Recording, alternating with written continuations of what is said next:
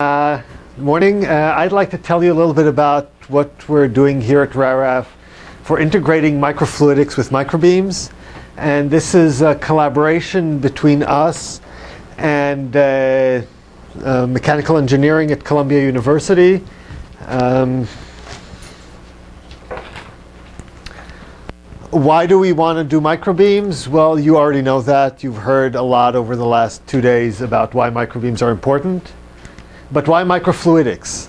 Well, microfluidics is the science of manipulating small amounts of liquid in channels of tens to hundreds of microns width. It provides high throughput automation of single cell analysis. So you can analyze a lot of single cells in parallel or sequentially. And our aim is to make a sort of generic, reconfigurable manipulation platform for handling cells floating in suspension. Uh, where the main thing is to handle a lot of individual cells, where each cell is uh, irradiated individually and then analyzed individually. Again, we want to perform the irradiation, sorting, dispensing, and analysis in microfluidics systems. And this is sort of a step forward from the amoeba system that Alan was talking about, which aims at doing a lot of this stuff on a more macroscopic scale. I'll be talking about three uh, irradiation platforms that we're developing the flow and shoot system, the optoelectronic tweezers, and the worm clamp and then touch a little bit about the analysis devices that we're looking at for uh, analyzing the cells after irradiation. The FAST, it's a flow and shoot uh, technology. It's microfluidics for the microbeam. Uh, currently, as you've seen in the demos yesterday, we irradiate cells attached to microbeam dishes. And we can either move the dish to where the beam is, or we can move the beam to where the cells are uh, on the dish using a point and shoot system.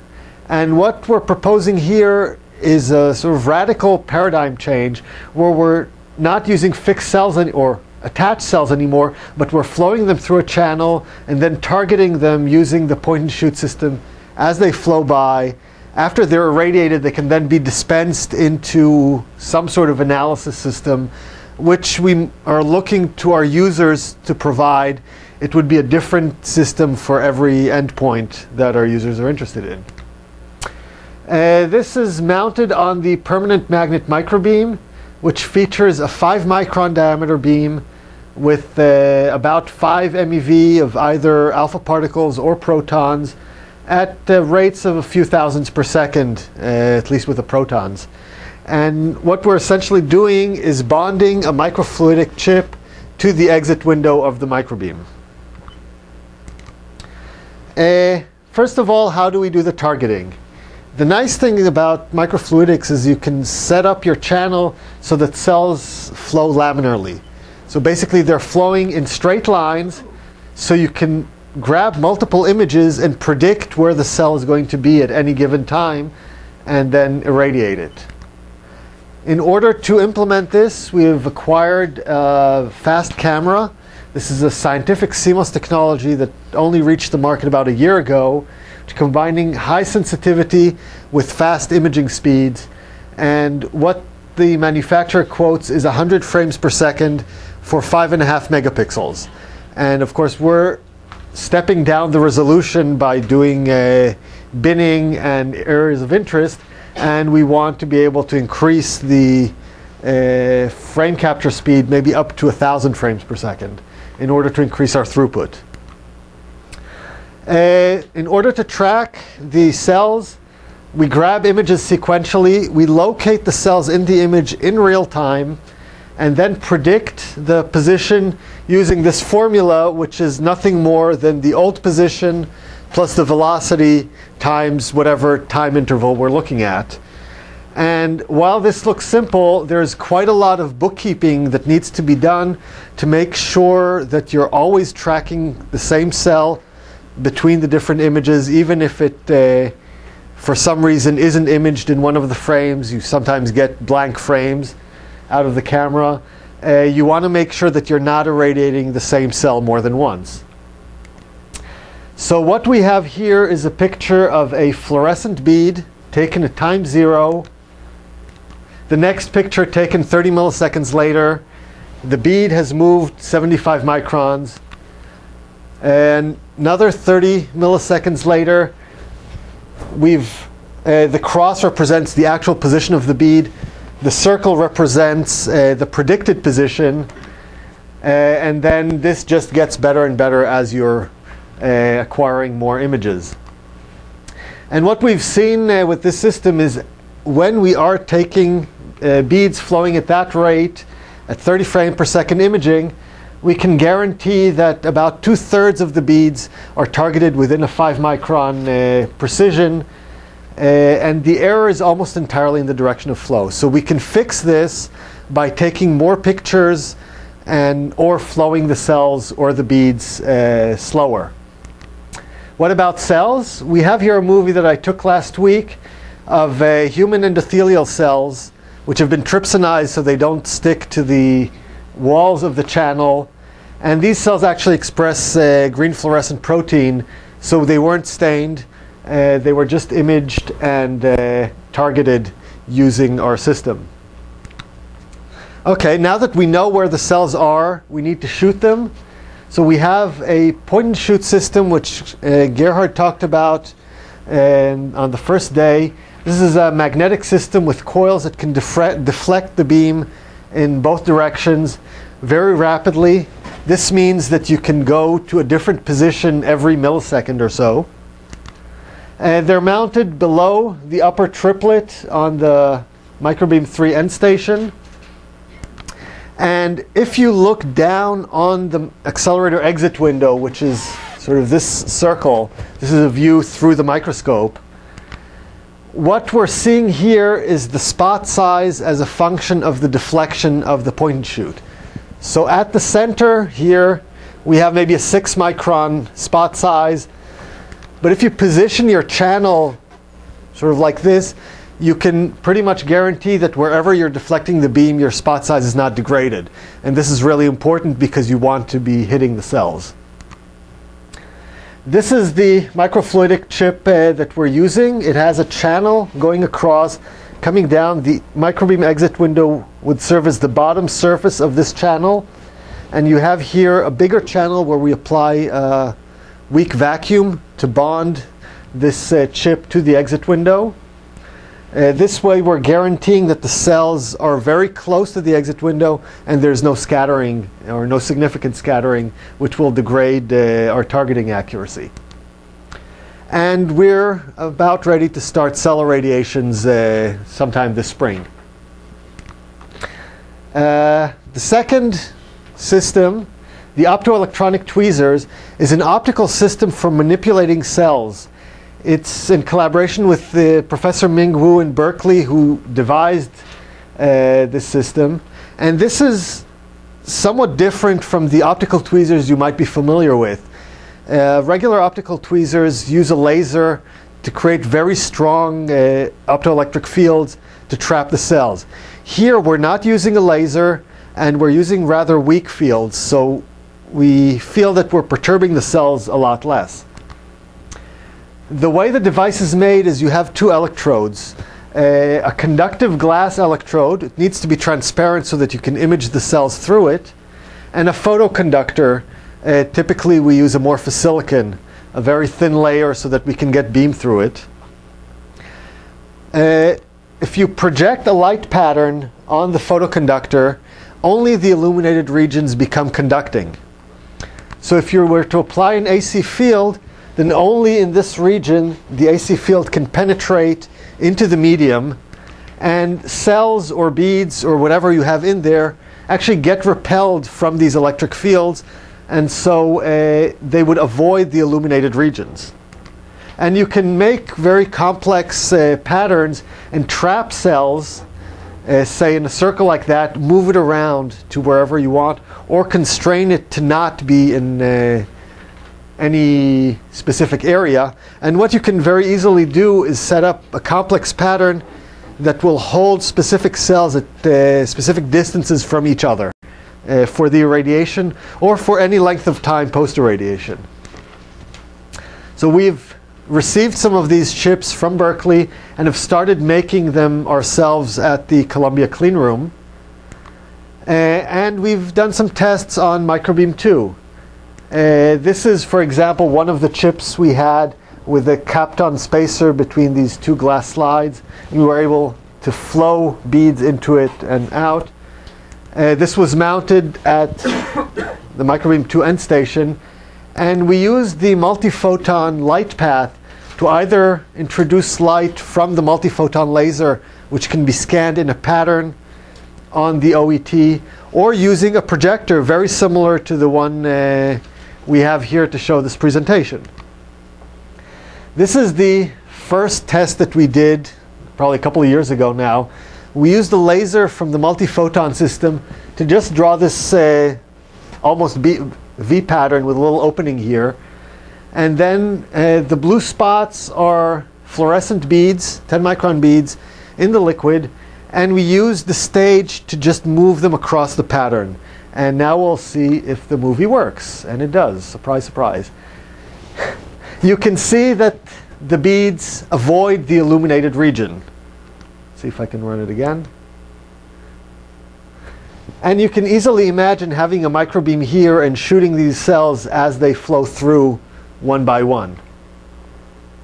Since then, we've uh, developed, we now have a projector uh, integrated into the system. And what you can see here is a group of beads. When you turn on the light in the field, they all go into the dark region in the middle, and you can move them around. We do have one bead here that is stuck to the glass, but most of them do move around. So the next step that we're working on now is to get this working with cells. And there is some uh, complications in this because you need to have very good control of the conductivity of the liquid that the cells are in. It needs to be rather low, and so you need to use special kinds of uh, cell culture medium to get this working. Now those two systems are designed for handling single cells. What about animals? Uh, we've heard uh, about worms today from uh, Brian slash Antonella. And we're actually trying to use microfluidics to control these worms and immobilize them for the irradiations. Because what we've seen is if you put worms in a microbeam dish, they tend to run all over the place. They're very mobile. And the experiments that Brian showed were done by anesthetizing the worms using azide, I believe. Uh, and we think that that may introduce a perturbation to the biological endpoints we're interested in. So we would prefer to have a non-chemical immobilization of the worms. So in order to do that, uh, um, the Whitesides group at Harvard have developed these worm clamps, which are tapered microfluidics channels, which the worm can swim into, but then when he reaches this region, he gets stuck. And if you apply a very small pressure differential between the two, the inlet and the outlet, it cannot swim back and it will stay wherever you want it to stay and you can easily target it wherever you want for the irradiation. These clamps were actually divide, uh, developed for doing uh, imaging of worms.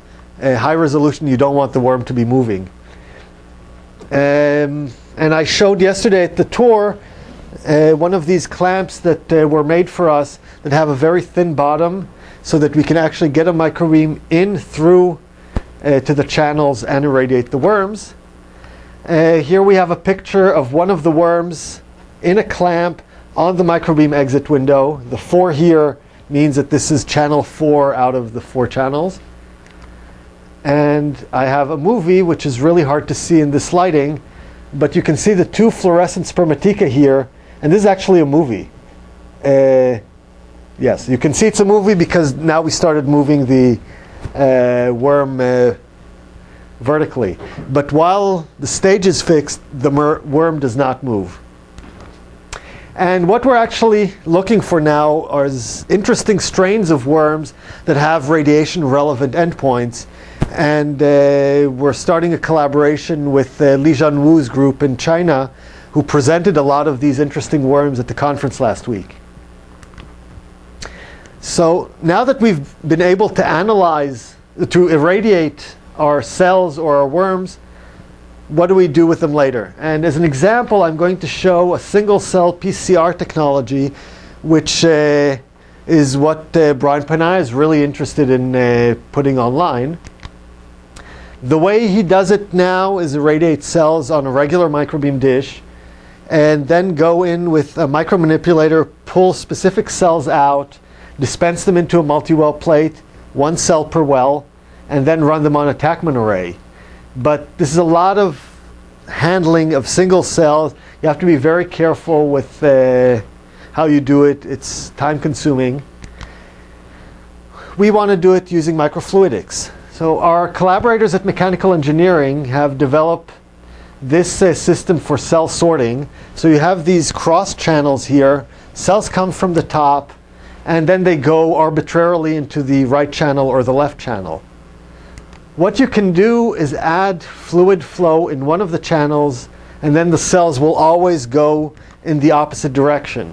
And you can do this computer controlled, image the cells in this region, and then decide into which of the outlets you want them to go. So if you have a double, uh, two populations of cells with different fluorescent stains, you can very easily sort them uh, into two different vials. Now to dispense cells into multi-well plates, one of the things you have to be very careful about, especially for PCR, is not to get a lot of uh, medium in. So the technology or the system we're using has a, a, channel here where the cells can flow, and then when you detect a cell above this nozzle, you can apply a short burst of pressure.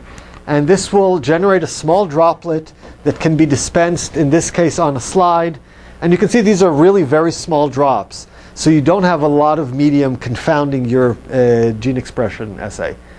And again, we, we're doing this on a slide here so you can see it, but we're developing a system for multi-well plates. But there's actually an even easier way to do uh, PCR.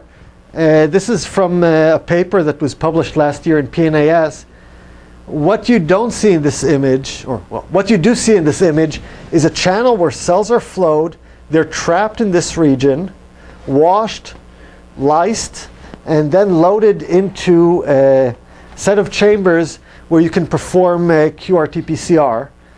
Uh, this chip has various heating elements on it, it has valves, and what you don't see here is that it has a couple of hundred of these units on the chip. So you can look at either maybe 200 gene products or 200 cells looking at the same gene product. And what we envision is on a chip like this, you can make a thinned bottom which can be penetrated by a microbeam. You trap the cells here, irradiate them, and then you can either keep them for a certain amount of time and do a time series depending on which cells are released at which time, or look at different gene products from, uh, or the same gene product from the different cells, looking at intercellular variation. Uh, this is a nice technology that was pioneered by Attinger's group at Columbia. This is cell encapsulation. And the really impressive thing is that what you have here is a cell in a droplet of medium floating in oil. And this is actually a very small beaker. It has maybe 500 picoliters. So you can imagine that if you irradiate the cell, it uh, puts out whatever factors, but they stay concentrated in that region. And then you can take this uh, bubble and move it, say, to a mass spec system and look exactly what was excreted by the cell. Uh, another thing that you can do is to have two cells within this uh, bubble and then irradiate just one of them, the other cell will uh, see the factors accreted by the cell concentrated very strongly because they're not getting diluted in a large petri dish. So you'll get a much stronger medium uh, transport uh, bystander effect. And you can also take these bubbles and merge them. So if you want to add reagents uh, or you want to lyse a cell in a bubble, you could do that. Finally, the last thing I want to talk about is a little bit about the of how you interface all of these things. Uh, in a microfluidic chip, when you're trying to irradiate and image cells, flows are typically tens of microliters per hour. Now this is a picture of the way we first did these experiments. You have your vial with cells here, you have tubing, the chip, and a syringe pump which is sucking the cells through the system. And what it turns out is that all of this tubing has a good fraction of a milliliter of, of dead volume, essentially. It requires priming, and it takes a long time for the cell velocity to stabilize once you apply that strong suction to get the cells from here to here in any reasonable time. So this is not really a very good way to do it. Uh, you really need to be minimizing your tubing. On the other hand, most of the microfluidic systems, at least the ones I've encountered, require some sort of imaging, so they need to be under a microscope. And there's only, you can only get two microscopes so close to each other because microscopes are big macroscopic things. Uh, you could have multiple systems on one chip that you move around on a stage, but then you're not seeing what's happening in the other regions, and you really do want to do that for high throughput. So we were looking for a way to couple microfluidic chips in a way that doesn't have a lot of dead volume and will allow you to do your irradiation and analysis. And what we came up with is to use capillary tubes. You can have here a 20 microliter capillary tube that has loads and loads of cells in it. Use this one to input cells into your chip and then you're aspiring on the other side of the other uh, capillary. So cells will tran be transferred from here to here, irradiated, and then transferred out. And that can be done relatively fast because you have very little dead volume. And the really neat thing is that you can actually get these capillaries in square cross sections or in rectangular cross sections so that you can do actually very precise imaging on the capillaries. And you don't get the uh, aberrations from uh, cylindrical capillaries. To summarize, uh, microfluidics provides a high throughput automated way of doing single cell handling, a very large number of single cell analysis devices, and in conjunction with the single cell microbeam, it is a very powerful tool for studying radiation effects in both single cells and in uh, small organisms. And I would just like to finish up by showing, uh, thanking all the people working on this project, both from the microbeam side and the microfluidic side. Thank you.